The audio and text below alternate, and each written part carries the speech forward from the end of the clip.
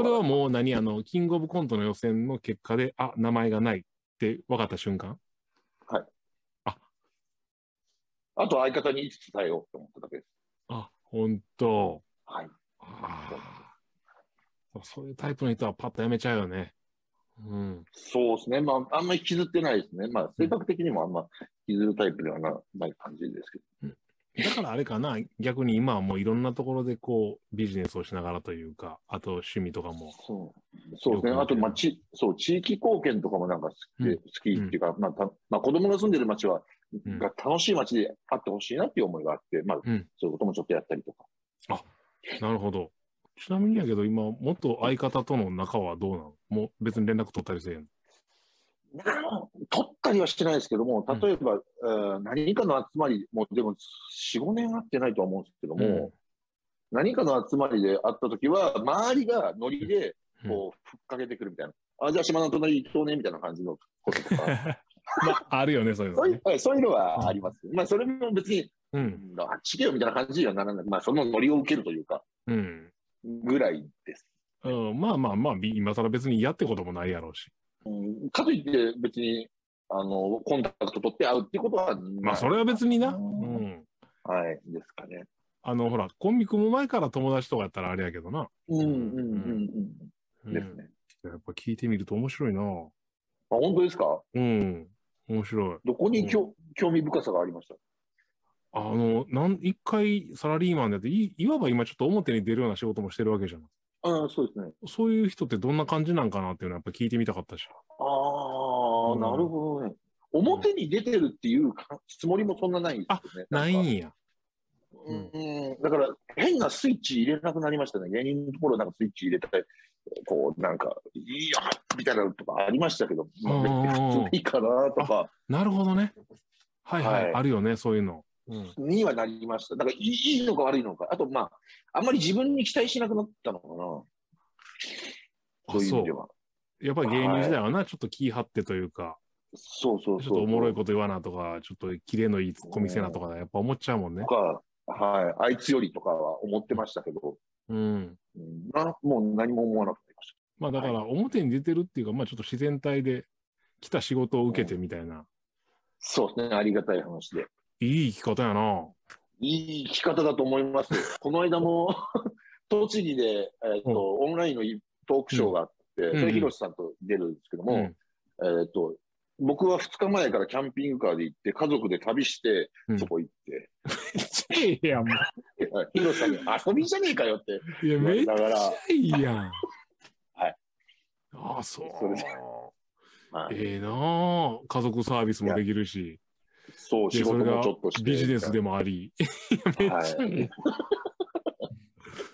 はい、楽しいです。むちゃくちゃ楽しいです。いやーもう本当にでも本当にヒロシさんのおかげです。もう本当に冗談なしで。うんうんうん。はい、それしかないですね、もう、マジで。一回なんか俺、ヒロシがお店やってる時に会えへんかったっけ、そこでな。お会いしましたね。はい、あワンちゃん連れてましたね。はい。あ、そうそう、犬の散歩コースでさ、まだあの店開けてない時やったけど、いたもんね。うんはいはいはい。で、ああのの時まだ愛知県あ、だそう、愛知に住んでるって言ってたはい。それが今やもうな、東京に住んで。うん、まあ、東京。ってすごい端っこの方ですけど、あ、そうなんや。まさか今こんな感じにな、その時はなると自分でも思ってなかったやろうし。全く思ってなかったです。うん。一つも想像できてないです、こんな人あ、ほんと。いや、人生わからんもんやな、ほんと。本当わかんないです。ごめんな、ちょっとこっちからお願いしといてこんなこと聞くのあれやねんけど、あの、なんか言い残したことある？ないよ。別に。ないよね。呼ばれてんねんもんな。はい。まあまあ、あるとするならば、まあ、そういう、まあ、シェアキャンピングカーとかシェアオフィスとか、うんあとまあ、あやってるんで、よかったら、借りてみてくださいぐらいですかね。ああ、なんか、じゃあリンク貼っとくわ、ほんなら。あいやいや、大丈夫。概要概要欄にうん。そんなぐらいですかね。まあ、あとなんですかね。これ出る理由というか、まあちょっと、きうんなんていうかな、思いというかがあって、まあ、うんまあ、い全然お会ってないですけど、まあ相方も、まあ、まだね、お笑い芸人としてやってるんで、まあちょっとでも、これが、ムートンという名前が出て、もし、ちょっとでもとは思う、いう気持ちはありましたね。仲悪かったですけど、なんかそういうのはまだあるかね、ちょっとは。会いたいとか何にも思わないですけどね。ああ、そ今もムートン、ムートンの名でやってるもんな。ムートン伊藤っていう。そうですね、まあ、はい。うんう。うんんいうか。感じはちょっとだけはあります。ちょっとだけやね。ちょっとだけ。やっぱあの、仲悪かったけど、解散するとそこはフラットになるのかな？どうすかね？なんかまあ、い10年やったらね、10年組んでた人が売れないよりかは売れた方がいいなっていう、そうだねそれだけの感じですね。まあ、10年でもやってたわけやんか。まあ、やってて、ネタもガツガツ書いて、やってて、なんか今ほら、若い芸人も、今もまだいっぱいいるけど、こう言えるアドバイスとかある？まあ、と、僕、芸人やってて一番良かったなって思ったのは、サラリーマンになった時に意外とそれが生きたって思ったんですよ。ほうほうほうだから、その芸人という仕事は、なんかいろんな方面に生きてくるんじゃないかなっていうのは思いますね。うん。それはどういうところ？例えばコミュニケーションとか。そうです。ツッコミだったんですけども、僕。うん。うん。ツッコミってなんかリアクターというか、リアクションする人じゃないですか、どっちかって。そうやな。今ボケました。うん。うん。おかしいよっていう、うんそれがやっぱり、こう営業してても、相手の話に対してリアクション取れるんで、で、人より大きく取るとか、うん盛り上げる方法とかを、なんとなくし、こう、体が覚えてるじゃないですか。うん。うん。それでなんか、あうまく、やっぱ商談とかも、他の営業マンよりかは、やっぱり、まあ、良かったですし、へえ。おうはい。おうおうそうですね。はい。僕はそういうところで行きましたね。おういいね。はいなるほどね。うん。そういうところの、まあ、コミミュニケーション術というか、話術というか、結構もう、そう。活かせたわけない。だから他にも生きるところはあるんじゃないかなと思いますんで、なんかそういう、だから、うんいい職業だなと思いました。うんうんうん。なんていうんですかね。うん。潰し聞くよっていう感じですか、ニュアンス的には。意外と芸人って潰し聞くよみたいな。うんなるほどね。あ手あ手に仕事ついてるみたいなニュアンスですかね。意外と、ね、頑張ってやってりゃ手に職つくよみたいな。ついてると思います。うんうんうん。自分がそうだったしね。そうそうそうそうそうそう、うん。そうか。意外と大丈夫だなと思って。まあでもそのためには一生懸命やらなあかんよね、でもね。そう、だから、あの、潰し聞くんで一生懸命、逆に一生懸命やった方がいいんじゃないっていうイメージ。ああ、うんなるほど。はい。引き際的にはどう思う？俺みたいにさ、ずっとな辞めずに長くやってる人とかもいるじゃない。いや、うんこれね、うん考え方として羨ましいなって思ってるんですよ。僕はその考え方にできなかったんで、うんまあ、アウトしちゃったんですけども、うん。なんていうんですかね、この表現がもうちょっと悪く聞こえちゃったら申し訳ないんですうん、けども、いいよいいよ。うん。お笑いたしなんでていいなって思ってます。ななんですかね、ごめんなさい、そういう本当に嫌な意味じゃなくて、なんか、あいいなって思います。結構長いことたしなませてもらってますので。なんか、ちょっと申し訳ない、その悪い表現じゃなくて、全然全然全然。うん付き合い方うまいなとは思います。うん。はい。あ、でも、そうやな。付き合い方やもんな。そこをどう折り合いつけてやるというか。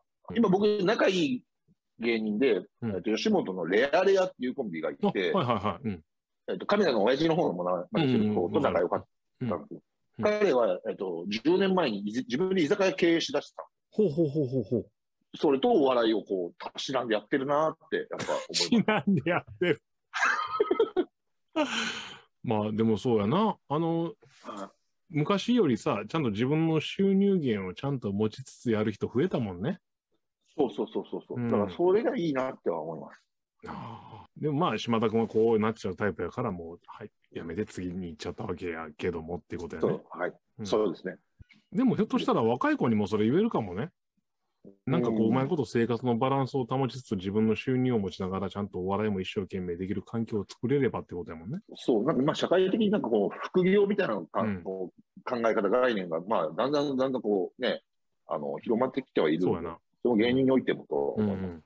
じゃあ、あの、ちょっとこれ最後に聞いてる質問があって、はい。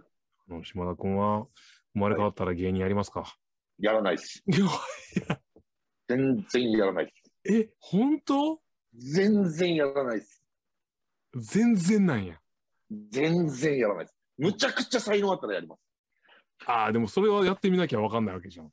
いやいや、やる前に分かりますね。そう？